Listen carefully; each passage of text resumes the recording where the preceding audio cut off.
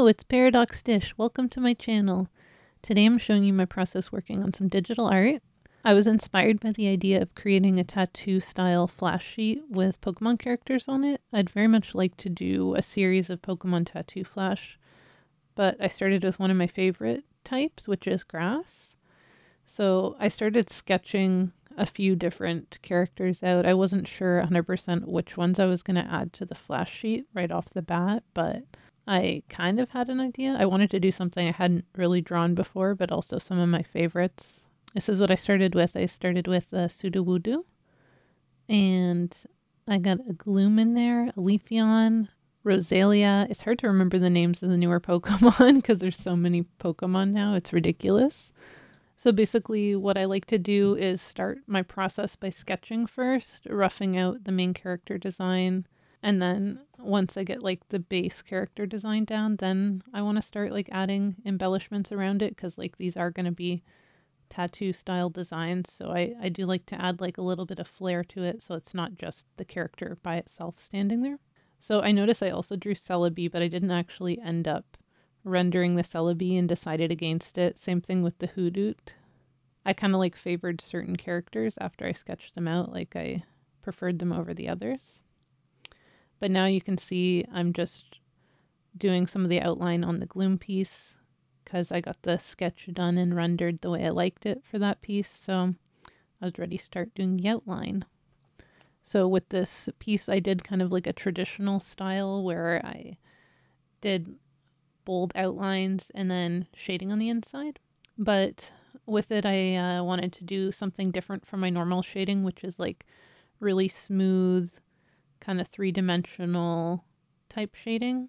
And I went with a grainy pencil brush this time because I wanted like more of a texture, rough texture to it and everything, and to look like pencil.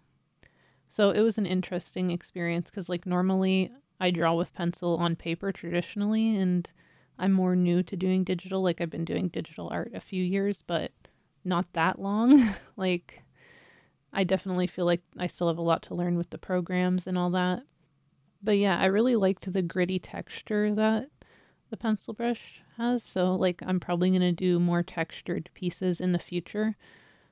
But I always like fall back on my regular style of the smooth three-dimensional clean looking shading with like clean edges and everything. That's like really how I like to do my art. so yeah, I started drawing Shaymin here as well. Like started doing the outline and the embellishments to it. I really I really liked how the Shaymin piece turned out. It ended up being my favorite of the whole flash sheet. I think it's a really cute character. I love grass Pokemon. They're one of my favorite types, like grass and bug Pokemon, but I always thought grass and bug Pokemon were like the same. I didn't realize that some are like just bug Pokemon, not also grass Pokemon. So that was a learning experience because I was going to add Butterfree, but then I realized Butterfree's not actually a grass type. Mind blown. the funny thing is, I like bug Pokemon and ghost type Pokemon. Those are like my favorites. And bug Pokemon actually counter ghost Pokemon. So kind of funny that I happen to like those. I feel like with this flash sheet, I didn't really have enough room on it to draw as many Pokemon as I would have liked to, because there's definitely more grass Pokemon that I'd like to add. Like um, Vileplume's another favorite of mine. Just really cute Pokemon. Love the design. Like I like more the original 150 to 250 Pokemon. Those those are like I guess what I grew up with and like some of the newer designs, I don't know, they're kind of out there. So I'm not as fond of like the newer Pokemon. So I, I mainly gravitate to drawing those ones. But yeah, there's a lot more I'd like to draw. Um, I'd have to think about it. But uh, there's definitely a few that I didn't get to do here. Like Hoothoot has some cool um, evolutions to it. I'd like to draw their evolutions because I love owls. They're like one of my favorite things to draw. So any excuse to draw an owl and I will take it. yeah, as you can see in this piece now, I'm starting to get the majority of the outlines done.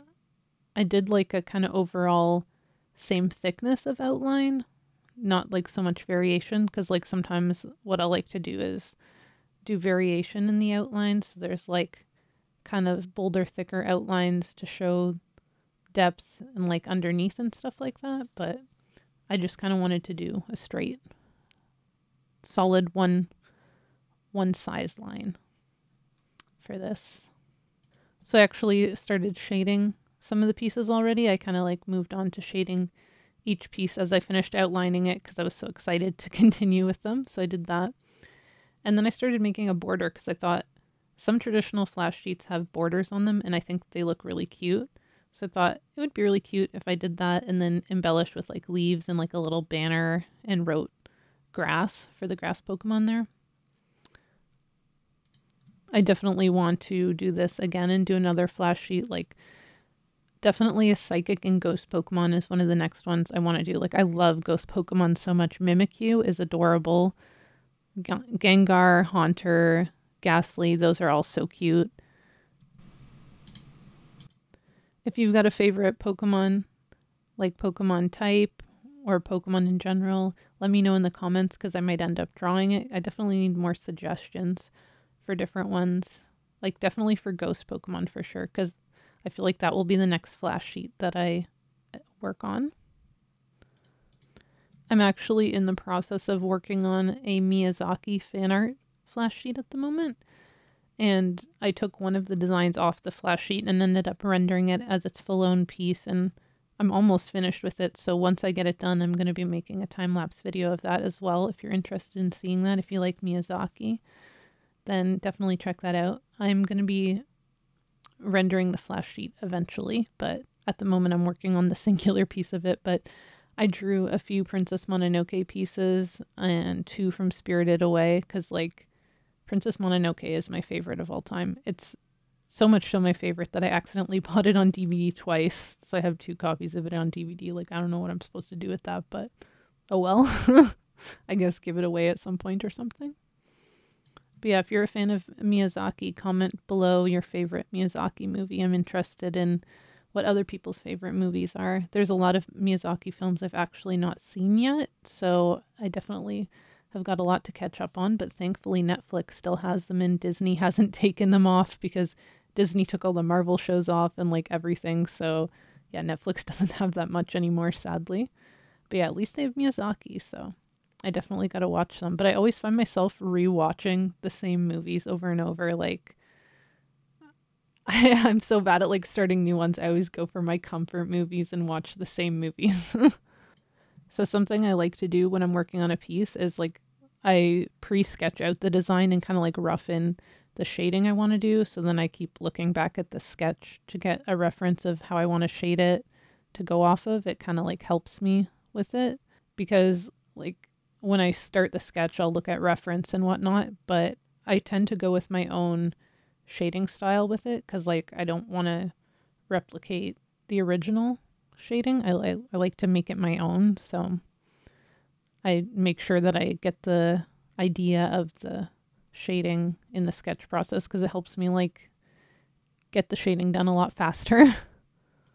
so at this point, I was looking at the Leafeon design and I was feeling like this is missing something. Like it needs something extra, just kind of playing with the little flowers there. So I decided to draw those little mushroom guys. I can't remember what they're called, but they're freaking adorable. And I'm like, yes, I'm putting them there. and the funny thing is, like, I wasn't feeling the Leafeon design initially when I was doing this flash sheet. I was more liking the Shaymin and the Deerling but then at the end of it, when I finished all the pieces, I ended up loving the Leafeon the most, and now it's my banner on YouTube, so it became my favorite. So I'm really glad I added those little mushroom guys because it just like leveled up the design that much more. So we're getting close to the ending of the drawing. Like I'm just finishing the Leafeon at this point, I believe. And I might have added more to the gloom. I'm not sure. I can't remember, but yeah, I really love the texture. The texture of pencil is really nice, and I'd like to do another pencil piece digitally.